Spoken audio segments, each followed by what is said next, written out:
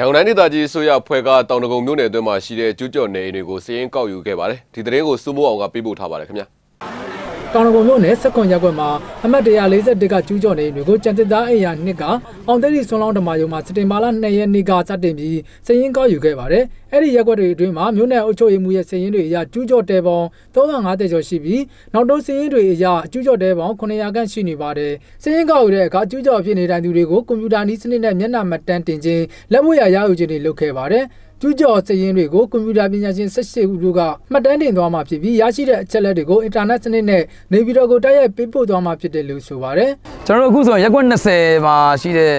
ဒီအုတ်ချွေပိုင်းနေပြီးတော့ဒီကျူးစင်းကိုကျွန်တော်တို့ကောက်တယ်။ကျွန်တော်တို့မြို့နယ်မှာက32ရက်ကွက်ရှိတယ်။အဲ့ဒါအခြားရက်ကွက်တွေမှာရောမရှိဘူးလားလို့မေးခွန်းနဲ့မေးကြရှိပါတယ်။အခြားရက်ကွက်တွေမှာလည်းရှိပါတယ်။မိတို့မိဘုံကြံကြလေတော့ကျွန်တော်တို့မသိဘူး။အဲ့တော့ဒီတင်တန်းပေးတဲ့အခါမှာကျွန်တော်ကျွန်တော်သွားတရက်လောက်သွားလိုက်ပါတယ်။မေးချင်တဲ့မေးခွန်းတွေ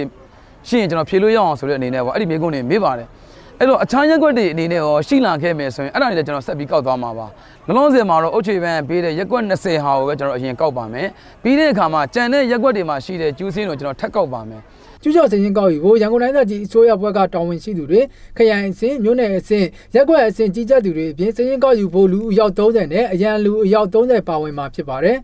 လွှတ်တော်ကိုယ်စားလှယ်တွေအပါအဝင်လာအိုကအဖွဲ့ဝင်တွေလူဝင်မှုကြီးကြပ်ရေးဦးစီးဌာနစီမံသားရေးကော်မတီနဲ့ လုံခြုံရေးဆောင်ရွက်ရန်မြန်မာနိုင်ငံရဲတပ်ဖွဲ့ကရဲအုပ်အစင်းရှိရဲတပ်ဖွဲ့ဝင်တွေလိုက်ပါဆောင်ကြက်ခဲ့ပါတယ်။အဓိကတော့ကျွန်တော်တို့ကျိုးစင်းကောင်းမယ်ဆိုပြီးကျွန်တော်တို့ကိုဝန်ကြီးချုပ်ကစိုးဝေးခေါ်ပါတယ်။ဝန်ကြီးချုပ်ခေါ်ပြီးကျွန်တော်တို့ကဒီအဒီကကြောတင်ပြင်ဆင်ရေးလုပ်ငန်းတွေကိုဆောင်ရွက်ပါတယ်။ကြောတင်ပြင်ဆင်ရေးလုပ်ငန်းတို့ကျွန်တော်တို့လူဦးရေ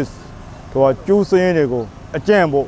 အကြံနေပြီးကျွန်တော်တို့ကောက်ပါတယ်။အကြံကောက်ပြီးကျွန်တော်တို့အချိုးကောက်ပါတယ်။အချိုးကောက်ပြီးကျွန်တော်တို့ကအခု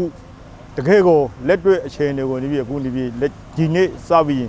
ကောက်နေပါတယ်တောင်ကုန်မျိုးနယ်မှာရက်ွက်ပေါင်း32ရက်ွက်ရှိပြီးစည်ရင်းကောက်ယူမှုတွေကိုရက်ွက်ပေါင်း20ကျော်မှာ15ရက်အတွင်းကောက်ယူမှာဖြစ်ပါတယ်။အရက်ဖက်အဖွဲ့အစည်းတွေနဲ့ INGO ဖြစ်တဲ့ World Vision အဖွဲ့လည်းပါဝင်ပါတယ်။စိတ်ထဲမှာတော့ဘာမှတော့မျှော်လင့်မထားဘူးပေါ့။ဒါမဲ့ဟိုအတိုင်းတာဘယ်လိုခေါ်မလဲဆိုအများဖြစ်လို့ရှင်တော့ကိုကိုရင်နဲ့မှာတော့မောင်လေးရဲ့ကျူးကျော်နေမယ်မှာနေရတဲ့ဟာဆိုတော့နိုင်ငံတော်ထောက်ပံ့တော့အများဆုံးတော့ကိုရင်နဲ့မှာဝမ်းသာတာပေါ့။ဒါပဲရှိတယ်။ကျန်တဲ့ဟာတော့မတို့ရင်နဲ့မှာဘာခုမှမရှိဘူး။ ကျွန်တော်တို့ထပ်တိုးလာတာကဘယ်လိုလဲဆိုတော့တချို့ကတဲတွေအုံကနာတွေရှိခဲ့တယ်ပေါ့နော်မရှိစင်းသားဆိုတော့တနေ့မှတော့အလုပ်လုပ်ကြတယ်ပေါ့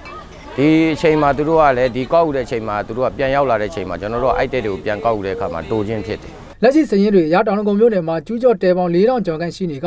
ကျူးကျော်စရင်ကောက်ယူတဲ့အခါလက်ရှိကောက်ယူထားတဲ့အားနည်းချက်တွေအားသာချက်တွေကိုကြည့်ပြီးကြံရှိနေတဲ့မြို့နယ်တွေကိုဆက်လက်ကောက်ယူသွားမှာဖြစ်ပါတယ်ကျွန်တော်စိုးမိုးအောင်ပါ